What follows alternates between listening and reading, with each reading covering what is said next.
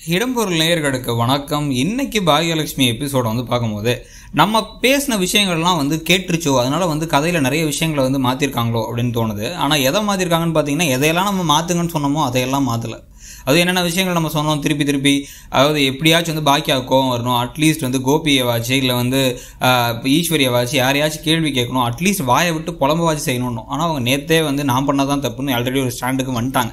அது அவங்களுடைய மென்டாலிட்டி அவங்களுடைய கண்டிஷனிங்கே அப்படி தான் இருக்குங்கிறது வேற விஷயம். ஆனால் இன்னைக்கு இன்னும் ஒருபடி மேலே போய் நம்ம சொன்ன மாதிரி என்ன விஷயங்கள் நடக்குதுன்னா அப்படியே மேலும் மேலும் வந்து சேவைகள் செய்கிறதா என்னோட முக்கியமான விஷயம் அப்படின்னு சொல்லிட்டு முதல்ல எடுத்தோடனே வந்து காஃபி கொடுக்குறாங்க.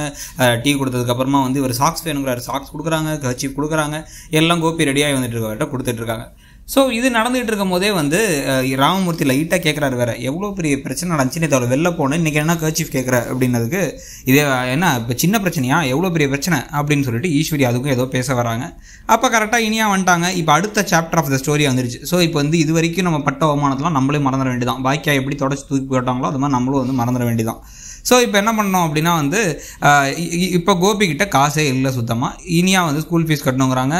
இன்னொரு பக்கம் வந்து வீட்டு செலவுக்கு வந்து காசு வேணும் அப்படின்னு சொல்லிட்டு பா ஈஸ்வரி வேற கேட்குறாங்க ரெண்டுக்குமே ஒரு கையில் காசு இல்லை இவர் திரு திருன்னு முடிச்சுட்டு கிளம்புறாரு. லாஸ்ட் டே வேற ஃபீஸ் கட்டுறதுக்கு நெருங்கிடுச்சு. அடுத்த நாள் ஆஃபீஸில் போய் பார்த்தீங்கன்னா அதே அதே நாள் ஆஃபீஸில் போய் பார்த்தீங்கன்னா ஆஃபீஸில் வந்து அந்த சுரேஷ் அவர் திட்டு வாங்குறதே தான் மொத்தமாக அந்த ஆஃபீஸில் வேலை பார்ப்பார் போல.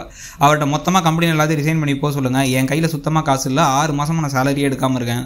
இவ்வளோ பெரிய ஃபினான்ஷியல் கிரைசிஸ் வந்ததே இல்லை நான் வேற எங்கேயா வேலை தேடிக்கிறேன்னு சொல்லிட்டு கோபமாக கோபி பேசுகிறாரு இந்த இடத்துலையும் நிஜமாவே அவர் ரொம்பவே சதீஷ் ரொம்பவே நல்லா நடிச்சிருந்தார். அப்படிங்கிறது கண்டிப்பாக அதில் சொல்லணும். ஏன்னா இதை நான் கம்பேர் பண்ணி திருப்பி வந்து இன்னொரு ப்ரோட்டகனிஸ்ட் இந்த கதையில் இவங்க ஆண்டகனிஸ்ட் வச்சிட்டோம்னா ப்ரோட்டகனிஸ்டாக இருக்கக்கூடிய பாக்கியாவுடைய எக்ஸ்பிரஷன்ஸோட கம்பேர் பண்ணும்போது அவங்க ஏன் இன்னைக்கு திரு திருன்னு முடிச்சாங்கன்னு எனக்கு புரியல நம்ம ஸோ இங்கே வந்ததுக்கப்புறம் இப்போ திருப்பி இங்கே பார்த்தீங்க அப்படின்னா கொஞ்சம் ஜோக் காமெடிகள்லாம் வைக்கிறாங்க. நீங்கள் வந்து தேவையில்லாமல் வந்து நேற்று முந்தானது நடந்ததை வச்சு மனசு குழப்பிக்காதீங்க. நமக்கு சொல்கிறாங்கன்னு நினைக்கிறேன். அதனால் வந்து செல்வி வந்து என்ன பிளான் பண்ணியிருக்காங்கன்னா தீமுதிக்க வைக்கலாம் அப்படின்னு சொல்லிட்டு ராமமூர்த்தியை தீமுதிக்க வைக்கலான்ற வேண்டுதல் வச்சுருக்காங்களாம். அதை அவங்க சொல்ல அவர் அப்படியே ஷாக் ஆக அப்போ கரெக்டாக அமிர்தா வராங்க. அமிர்தா வந்து எதுவும் சாப்பிட்லன்னா உங்களுக்கு ஜூஸ் வாங்குறது கூட வீட்டில் பழம் இல்லையா? ஜூஸ் போடுறது கூட பழம் இல்லையா? ஸோ ஜூஸ் வாங்கிட்டு வாங்க எழில அனுப்புனதுக்கு பிறகு எழிலை பற்றி பெருமையாக சொல்கிறாங்க எழில் அவ்வளோ தூரம் பண்ணார். இல்லைனா வந்து எனக்கு சாமி மாதிரி இல்லைனா நேரம் என்ன நடந்திருக்குனே தெரியாதுன்னு பாக்கியாவும் ராமமூர்த்தியும் செல்வியும் எல்லாரும் சொல்கிறாங்க உடனே அமிர்தா வேறு லைட்டாக இம்ப்ரெஸ் ஆகிட்டாங்க இந்த விஷயத்தில். இது நடந்துட்டு இருக்கும் போதே டக்குன்னு உடனே வந்து ஃபேமிலியில் எல்லாரும் உட்காந்துருக்காங்க இப்போ ஜெனிக்கு வேறு மாத் அந்த ப்ரெக்னன்சிக்காக சத்து மாத்திரை கொடுக்குறத அந்த மாத்திரையை இப்போ இப்போ பற்றி பேசி அடுத்து வந்து குழந்தைக்கு வந்து பேர் வைக்கணும் மொட்டை போடணும் வளகாப்பு அப்படின்னு பேசினோடனே கோவமாயி செடியன் போயிடுறாரு.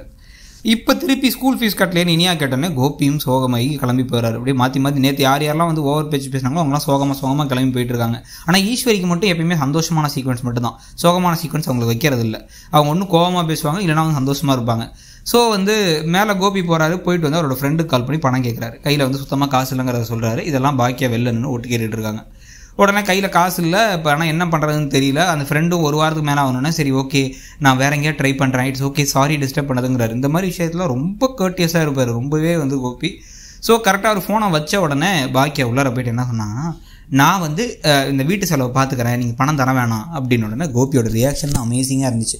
உடனே அவர் என்ன சொன்னார் அப்படின்னா வந்து என்ன என்னால் பணம் கொடுக்க முடியலங்கிறத குத்தி காமிக்கிறியா? அப்படின்னாரு. உடனே பாக்கியா அதுக்கு ஒரு எக்ஸ்பிரஷன் கொடுத்தாங்க. அந்த எக்ஸ்பிரஷன் நான் என்ன படிக்கிறது அதுலேருந்து என்ன புரிஞ்சுக்கிறதுன்னு எனக்கு சுத்தமாக தெரியல. உங்களுக்கு புரிஞ்சுன்னா சொல்லுங்கள் திருப்பி பாக்கியா வந்து நாளைக்கே வந்து ஈஸ்வரிக்கு கால முக்கிற ஸ்கின்லேருந்து ஆரம்பிச்சுன்னா உங்களுக்கு என்ன தோணுங்கிறதையும் சொல்லுங்கள் இந்த மாதிரி நிறைய அப்டேட்ஸ் இடம்பொருள் சேனலை மறக்காமல் சப்ஸ்கிரைப் பண்ணுங்கள் தேங்க்ஸ் இடம்பொருள்